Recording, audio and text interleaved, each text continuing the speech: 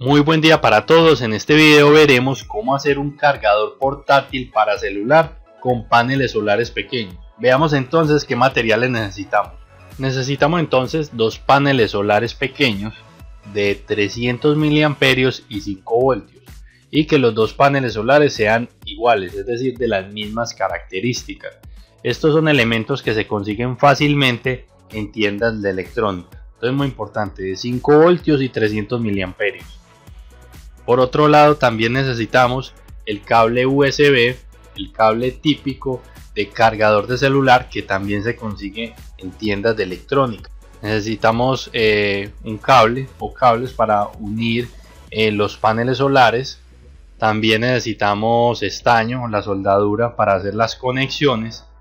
Necesitamos un diodo que es el que nos evita que se regrese la corriente a los paneles sería un diodo 1N4148 necesitamos cautín necesitamos una pinza eh, bisturí para cortar y cinta enmascarada veamos ahora el esquema básico de este montaje. Entonces tenemos los dos paneles solares como les decía de 300 miliamperios y 5 voltios y lo que vamos a hacer es que los vamos a conectar en paralelo. Entonces el positivo lo vamos a conectar al positivo el negativo con el negativo para que de esa manera se conserve el mismo voltaje y se sume la corriente. Es decir vamos a tener de los dos paneles 5 voltios y 600 miliamperios. Entonces tenemos 300 de uno y 300 de otro.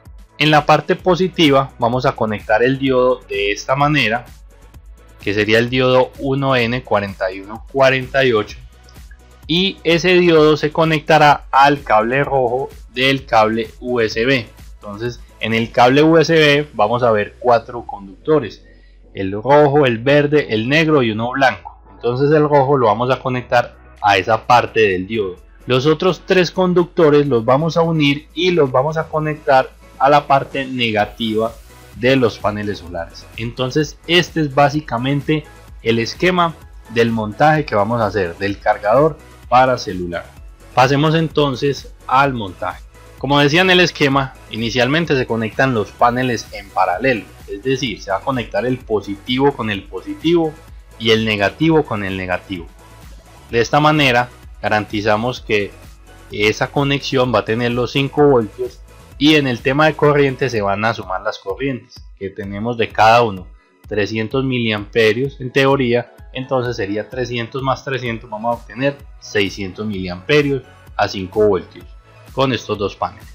Ahora procedemos a conectar el diodo.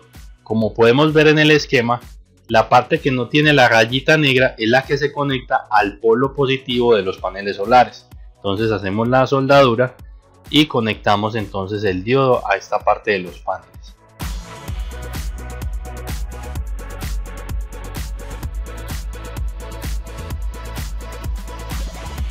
Ahora pasamos a cortar el cable USB para cortar entonces los cuatro conductores que hay dentro de él.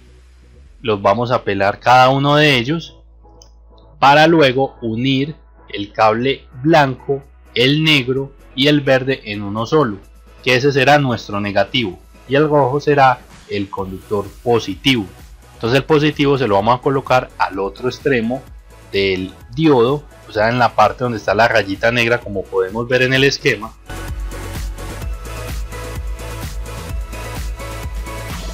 Hacemos la soldadura. Y los otros tres conductores van entonces conectados al negativo de los paneles solares como podemos ver entonces en el esquema. Vamos a ponerle un poco de cinta para que nos quede más firme y vamos a colocarle este amarre plástico para que no se nos zafe fácilmente el cable. Aquí lo que vamos a hacer es probar el montaje. Estamos poniendo entonces los paneles en una ventana donde recibe cierta radiación. En el video no se alcanza a apreciar muy bien pero alcanza a recibir algo de radiación. Aquí tenemos entonces el cable de donde vamos a conectar eh, el celular o la tablet. Inicialmente vamos a conectar una tablet y vamos a ver entonces cómo reacciona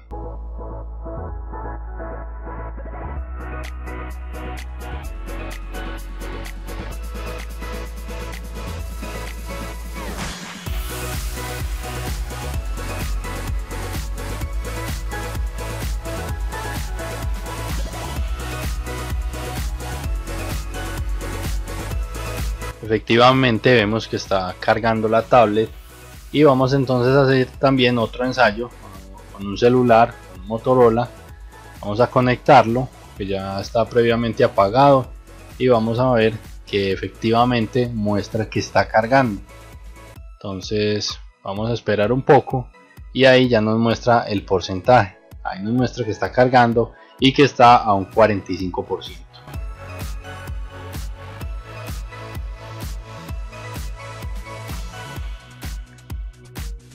Para finalizar, les quería aclarar que para hacer este montaje es muy necesario que haya muy buena radiación solar.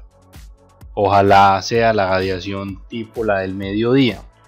Y dependiendo del tipo de celular, puede ser probable que necesite un panel más para obtener la energía necesaria o la corriente necesaria que necesita para poder cargar ese celular.